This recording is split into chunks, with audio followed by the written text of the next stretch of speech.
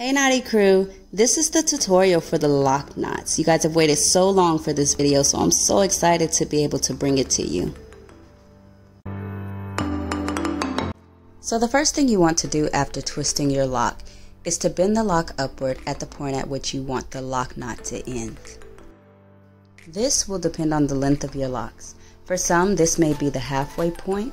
For others, this may be about two thirds of the way down or anywhere in between. The next thing you want to do is twist your entire lock in a counterclockwise direction. The direction in which you twist or loop the entire lock is solely dependent on the direction of the retwist. So for example, if you're naturally retwisting your locks to the left, then everything is going to be mirrored, where at this point you would twist the entire lock to the right in a clockwise direction. From here, you're going to wrap the entire lock around the twist that you've just created. The biggest thing to remember here is that we're wrapping in a downward direction. At no point will the area that we're wrapping overlap a previously wrapped section.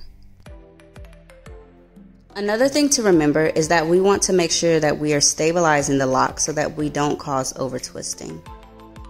As you can see, my middle finger is housed inside of the loop that we've created at the bottom of the lock knot. This ensures that the lock stays in place as we are manipulating to create the curl.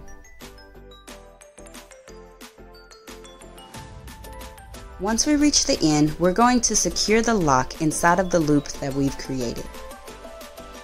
If you find that the loop does not give as much of a hold as you'd like, you can use a rubber band to secure the ends and create an added layer of security. This will ensure that your lock knots do not fall apart and increase the longevity of the style. Now I'm going to show you the process again on a lock that has not yet been retwisted.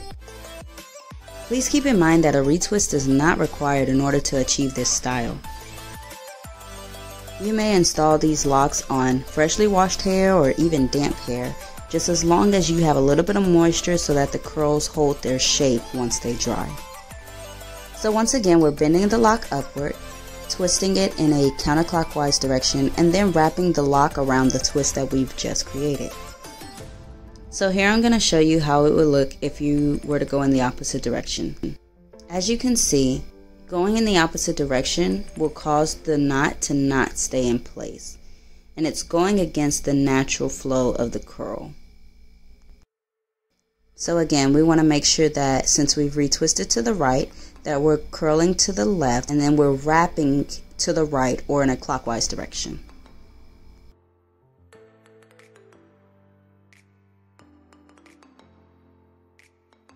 If you find that you get to the end or you get to the bottom and there's not enough room left to wrap, you can push the entire curl upward along the twist that you created and that will allow for more room for wrapping.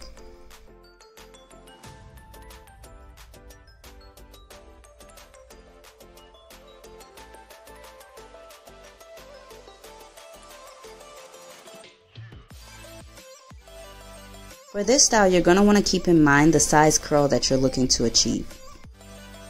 For her locks, we decided on one lock per curl. This is because her locks are on the thicker side. If she wanted a wave or a looser curl, then we could combine two or three locks to increase her size. Note that if you are working with Sisterlocks or locks on a smaller scale, you can combine multiple locks together to create your lock knot.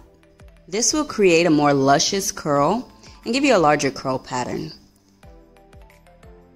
I hope that this tutorial helps you create beautiful lock knots and gorgeous curls. If you happen to try them, tag us at Knotty Xpressions. I'd love to see how they turn out.